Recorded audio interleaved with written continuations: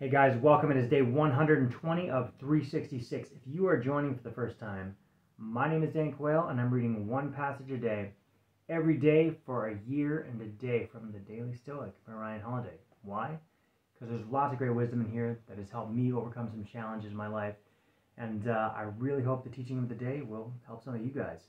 And if it's not relevant to you, today's teaching, maybe you have a friend or a relative that could uh, that could hear it and maybe it'll help them overcome some obstacles they're facing at the time. So give it a share. Anyway, September 26th, what time off is for? Leisure without study is death, a tomb for the living person. That's from Seneca and Moral Letters. You deserve a vacation. You work hard. You sacrifice. You push yourself. It's time for a break.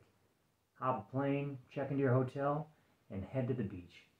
But tuck a book under your arm and not a trashy beach read. Make sure you enjoy your relaxation like a poet, not idly, but actively, observing the world around you, taking it all in, better understanding your place in the universe. Take a day off from work every now and then, but not a day off from learning.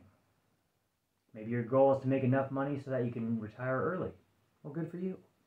But the purpose of retirement is not to live a life of indolence or to run out the clock as easy as that might be to do. Rather, it's to allow for the pursuit of your real calling now that a big distraction is out of the way. To sit around all day and do nothing, to watch endless amounts of television, or simply travel from place to place so that you might cross locations off the checklist, that is not life. It's not freedom either. Always be learning. Always be learning. And, uh, I'll be here. Read a new teaching every day. And uh, like I said, if it's not relevant to you, make sure you share it. I'm gonna get a better backdrop here. I've wanted to get out in nature. We've had just had some crappy weather lately and uh, a lot of rain, starting to get cold here in Minnesota. But uh, I'll get outside uh, next few days and get some nice fall colors in here. But uh, if the teaching is relevant to you, pass it to a friend or relative, and uh, we'll keep this thing going, and hopefully we'll change some lives out there. Okay? See you tomorrow.